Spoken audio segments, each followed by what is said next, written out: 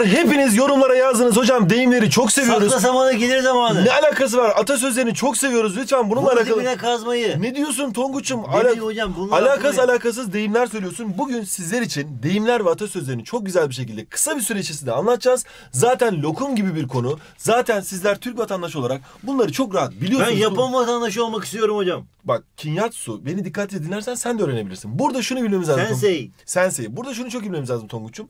Deyimler ve atasözleri ancak kullanılarak, sorular çözülerek, günlük hayatımızda bunlarla alakalı ifadeleri e, cümlelerimizin içerisine yerleştirerek daha iyi pekiştirebiliriz. Ama biz artık günümüzde Z kuşağı olduğumuz için daha çok böyle sosyal medyada bunları kullanmamaya başladık. Havalıyız hocam biz. Biraz havalı olalım derken deyimlerimizi unuttuk. Ama esasında deyimler son derece leziz, lokum ve lezzetli. Hatta lokumun da çifte kavrulmuş. Bak şimdi. Deyimler kelime veya kelime grubu veya cümle şeklinde olabilir.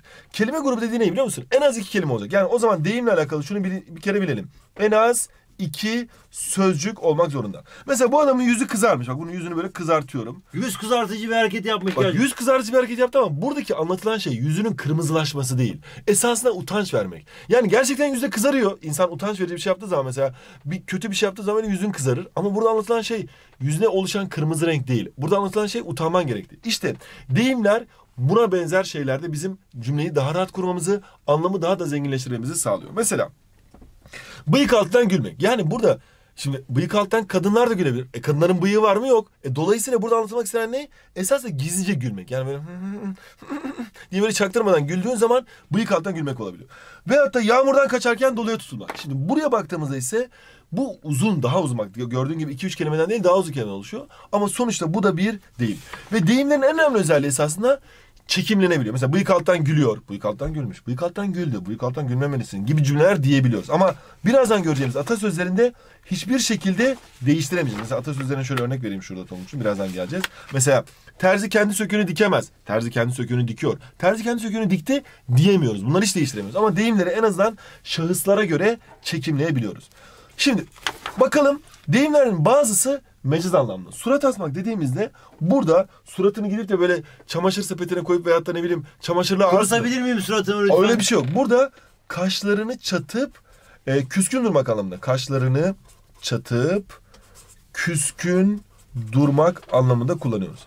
Göz gezdirmeye baktığımızda ise çabucak incelemek anlamında. Çabucak incelemek. Yani böyle detayına girmeden çabucak incelemek anlamında. Demek ki burada ne gözü gezdiriyoruz, burada ne de suratı böyle bir askı asıyoruz. Bunların her ikisi de mecaz anlamlı. Ve deyimler kalıplaşmıştır Tonguç'um. Değişmez. Yani ayıkla pirincin taşını doğru. Ama ayıkla bulgurun taşını dersen skandal. Böyle bir şey yok. Bulgur diye onu değiştiremezsin. Bardaktan boşanırcasına yağmak diyebilirsin ama sürahiden boşanırcasına yağmak diye bir şey yok. Bunların hepsi deyimlerimize e, esasında yanlış kullanımdan kaynaklanıyor. Bunları doğru şekilde kullanmamız gerekiyor. Mesela bir sorumuz var. Aşağıdaki cümlelerin hangisi el sözcüğü deyim içinde kullanılmamıştır diyor. Bakalım. Bu konuyu toplantıda ele alalım.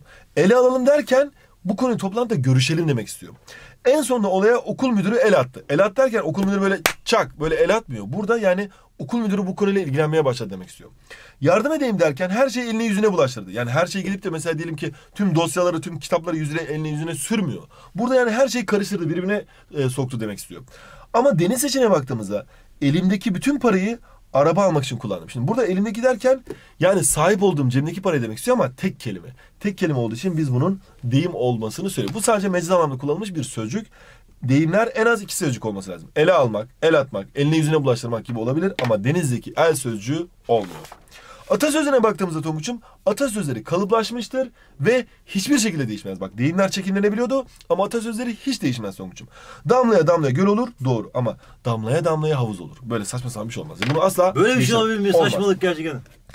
Atasözlerinin çoğu mecaz anlamdır Tonguç'um. Mesela terzi kendi söküğünü dikemez derken bu terziler için söylenmiş bir söz değil. Burada anlatılmak istenen şey şu. İnsanlar en yakınındaki kişilere bazen fayda sokumayabilir. Diyelim ki ben öğretmenim ya. Benim çocuklarım olsa ben onların derslerine yardımcı olamayabilirim. Ama başka öğrencilere yardımcı olabilirim.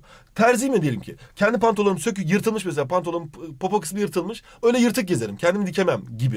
E peki öyle bir şey olabilir mi? Anlamsız. Ama burada mecazi bir anlam var. Yani mesela kasap evine et götürememesi gibi şey. Mesela ne iş yapıyorsunuz? Kasabım. "Ya Çok az et yiyoruz. Niye? E, Yani bak işte terzi kendi söküğünü dikemez. Bu mecaz anlam. Veyahut da ateş olmayan yerden duman çıkmaz. Ateş olmayan yerden duman çıkar. Ama bu sözü e, şey ateş olmayan yerden duman çıkmaz. Bu doğru. Ama burada anlatılmak istenen mecaz bir anlam. Bunu biz itfaiye için söylememişler bu sözü. Burada yani bir şey söyleniyorsa mutlaka bir sebebi vardır gibi. Ve hatta ilk gördüğümüz atasözünü söyleyelim. Damlaya damlaya göl olur. Gerçekten de damlaya damlaya göl olur. Ama bu sular idaresi için söylenmiş bir söz değil ki. Bu küçük küçük birikimler zamanla büyük sermayelere ulaştırır manasında. Bazıları ise gerçek anlamdır. Hiçbir şekilde mecaz anlam yoktur. Bugün işini yarına bırakma. He, ne hesi ya net söylüyorum işte. Bugün işini yarına bırakma. Ve hatta işte dost ile ye iç alışveriş etme. Nasıl yani? Ha, ha, ha yok ki söylüyorum işte. Dost ile ye iç yani istediğini yap ama alışveriş yapma. Ticarete girme. Ve hatta ne diyebiliriz mesela?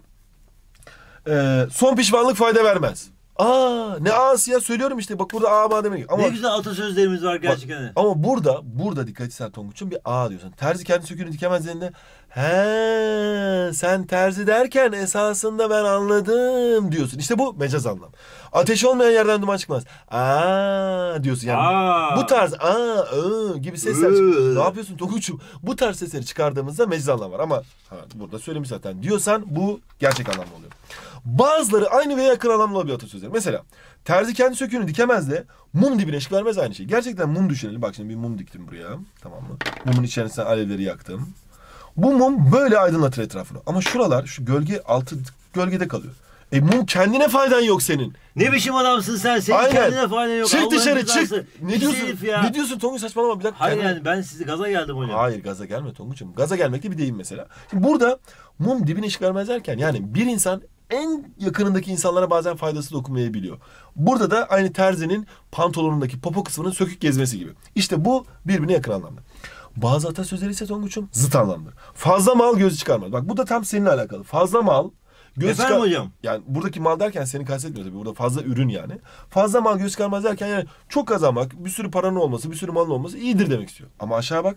Azıcık aşım, kaygısız başım, ağrısız başım. Yani çok fazla malım olup sürekli aman hırsız gelecek, aman işte bunun vebali var mı, aman böyle olur mu, aman şu olur mu, aman bu olur mu, acaba ne oldu diye düşünmek yerine azıcık aşım var ama oh rahat rahat aç aç geziyorum da diyebilirsin diyor. O zaman bunlar birbirine ters. Mesela ee, ne diyebiliriz mesela? Ee, akılsız başın cezasına ayaklar çeker. Bak şimdi burada akıla önem veriyor. Akıllı köprüyü arayana dek deli suyu geçer. Bak burada aklı eleştiriyor. Dolayısıyla bazen de birbirine zıt anlam katabiliyor Tonguç'um. Şimdi bunlarla alakalı senin hem akıl notlarında çok güzel çalışmalar yapabileceğini biliyoruz. Buradan yanında götürebilirsin. Ama aynı zamanda akıl haritalarına da bunları odan asıp öğrenebilirsin. Fakat ben şimdi sana ödev vermek istiyorum. Akıl haritaları, akıl notları bir destekleyici. Ama ödev olarak Tonguç evladım benim. Sana burada bak Cümlede anlam ünitesinden sonra, konusundan sonra sayfa 48'deki deyimleri çalışmanı istiyorum ve 49'daki soruları çözmeni istiyorum. Ve yine atasözleriyle alakalı sayfa 50'yi çalışıp 51'lik soruları çözmeni istiyorum. Bunlar iki sayfa ödevin. Mutlaka buradaki soruları çöz Songuç'um. Hadi bakalım ödüllü soruları yap. Ödüllü sorumuzu yap. hocam. Yorumlar yolla ama bir göstereyim tabii ödüllü sorumuzu. Hangileri zıt anlamdır demiş. Güzel bir soru. Hadi bakalım.